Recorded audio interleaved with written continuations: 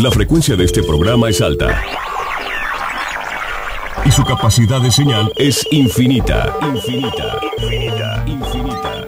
Zona 3 presenta la actualidad de la tecnología en un programa inmune a las interferencias. Fibra óptica.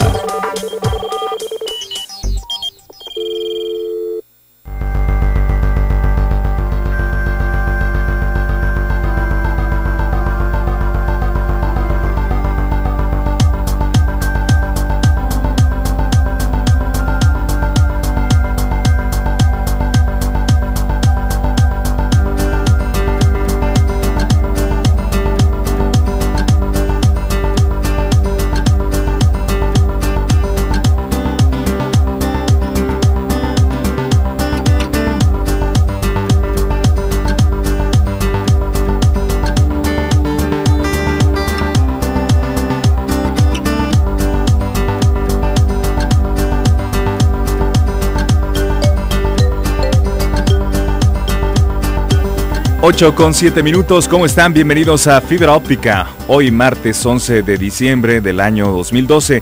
Me da mucho gusto saludarles en esta noche y a través de esta frecuencia 91.5 FM zona 3.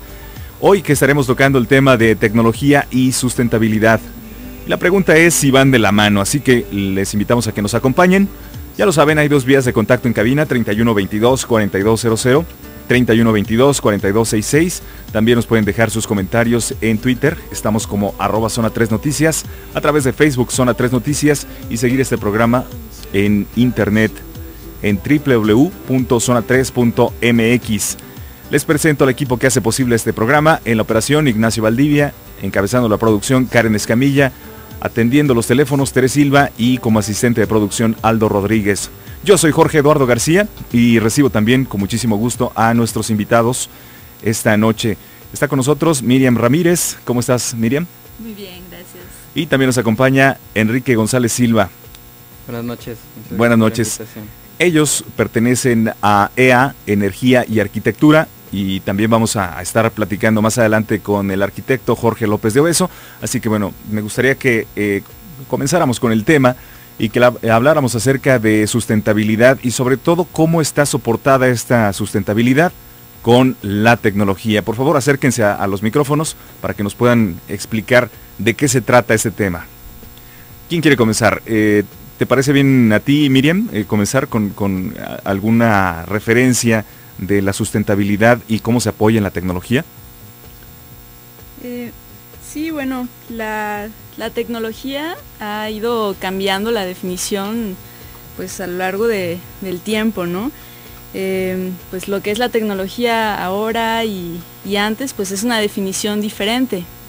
Entonces, en cuanto a sustentabilidad y tecnología, por ejemplo, en la revolución industrial, pues pensábamos que la tecnología traía muchísima contaminación, ¿no? La producción en masa, este, pues ahora ya es diferente, la tecnología tiene un e-, enfoque sustentable, ya de por sí desde, desde la manera de producir, este, los residuos, este, ha ido cambiando. ha ido cambiando.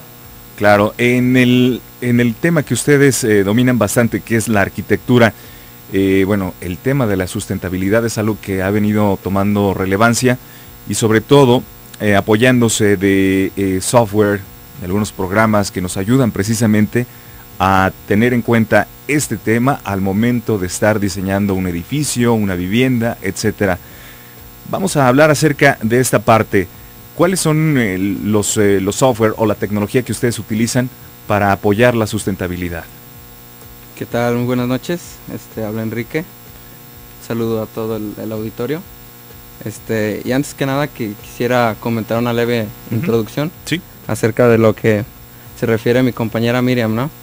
Que a partir de, la revolución industrial es cuando este, la economía sobre todo y este, la industria se ve en la necesidad de, no agotar como los recursos del humano, sino contemplar este nueva herramienta que, ayude a, a, economizar y eficientar sobre tiempos, ¿no? Sobre todo y producción. Entonces, a partir de esto es como se empieza este, a crear un, boom en la tecnología pero después en, en el en el en el pacto Kioto, que es cuando este se reúnen, se da en 1997 Sí, el protocolo. el de protocolo de Kioto, este, y es cuando la industria sobre todo se da cuenta de, de todo el este la contaminación que se está generando y creo que a partir de ahí, no en ese año, mucho antes, ya se ven algunos este, unas muestras sobre la sustentabilidad. En, en nuestro caso, acá en la oficina de Enea Energía y Arquitectura, nos estamos apoyando con softwares que nos ayudan a darnos cuenta sobre este, eficiencias en, en edificios, ¿no? Que van desde, desde un interior donde la gente puede este, estar en sus espacios donde pueda trabajar o asimismo como en el, en el envolvente, ¿no? En nuestro caso, pues de hecho, todo el gremio arquitectónico ya conocerá que utilizamos el software llamado AutoCAD. Este, y sobre todo acá nos apoyamos mucho con un software que se llama eQuest que es este un software que nos ayuda a hacer un modelado energético para detectar ciertas este, eficiencias. Y también nos estamos apoyando con algunos otros como es el, el Ecotec que este nos ayuda para hacer un análisis solar o este, hacer un análisis de, iluminación natural en los espacios regularmente ocupados. Este igual como ahorita estamos metiéndonos de lleno a un software que se llama Design Builder. Este que es un, un- un software pues, más actual que nos ayuda a hacer estas, este tipo de evaluaciones sobre todo. Muy bien, vamos a seguir conociendo acerca de ese tema, tecnología y sustentabilidad. Y les invitamos a que nos acompañen. Muchísimas gracias Gracias a. Jorge López de Obeso, arquitecto, Miriam Ramírez, a Enrique González y a Pedro Paredes de EA Arquitectura, eh, Energía y Arquitectura. ¿Dónde los pueden localizar, por cierto? Eh, los teléfonos de la oficina 1591-2679. Nuestra página es www.eaenergiayarquitectura.com. Lo mismo con el Facebook. Eh, y ahí estamos eh, a su disposición y dispuestos a proveer información y lo que necesiten. Muchas gracias por la invitación. Gracias. Gracias y Gracias. buenas noches. Mañana Buenas nos escuchamos en punto de las 8 de la noche. Sigan con Toño U de Paz Soltero.